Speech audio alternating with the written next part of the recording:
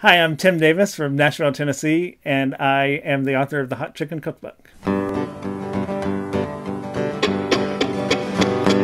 It's 99 degrees in Nashville, Tennessee on the 4th of July.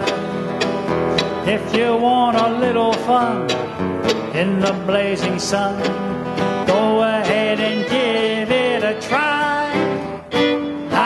Chick, chick, chick, chick, chicken. Learn, baby, learn. Hot chick, chick, chick, chick, chicken. Burn, baby, burn.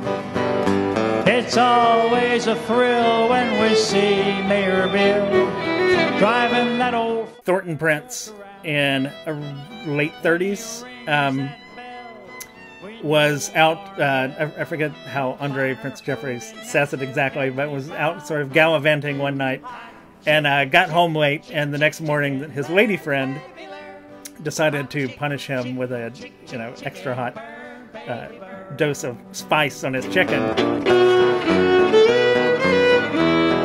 Uh, that actually just said off camera was the hottest thing I've ever had in my life.